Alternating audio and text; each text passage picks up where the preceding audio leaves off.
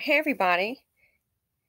So let's go ahead and look at this video. This is a this news clip rather. It is an update on the woman who was viciously, savagely attacked by teens. This is going to be part A. Please stick around for part B. The commentary. Check it.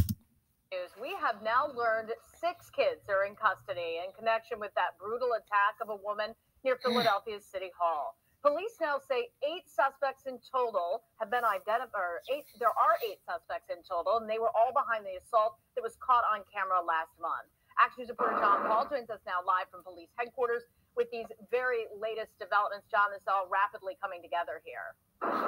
Yeah, it is just in the last few minutes, Sarah. Yes, six of the eight people that police say were involved, they have now been arrested. We know that five of them surrendered. One of them arrested at home. It was in connection to that brutal assault that happened actually not too far from where I'm standing over at Chestnut and 15th Street. And we also learned this, Sarah, the youngest, 11 years old. You probably are familiar with the video by now. Let's show it to you again. Eight kids knocked the woman to the ground at 15th and Chestnut. They beat her unconscious. They stomped on her.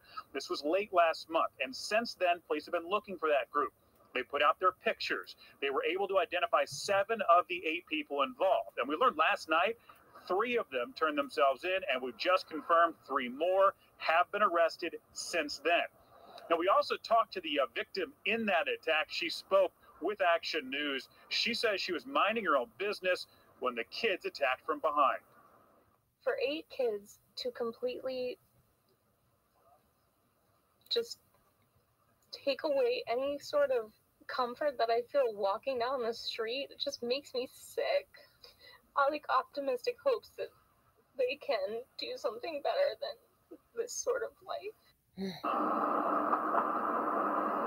Again, we've just confirmed six of those kids have been arrested. Five of them surrendered. The most jarring aspect of this is the youngest, just 11 years old. They range in age from 11 to 14. So there's still two more out there. We're told the uh, police do have a warrant for the arrest of a 14 year old girl, but they're still trying to identify one more person, a young boy that they captured on camera as well. So we're outside of police headquarters. We're going to keep an eye on things here, see if anyone else turns themselves in today.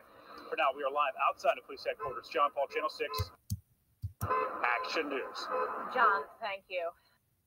Okay, everybody, you saw part A. Please stick around for part B, the commentary. Mm, mm, mm.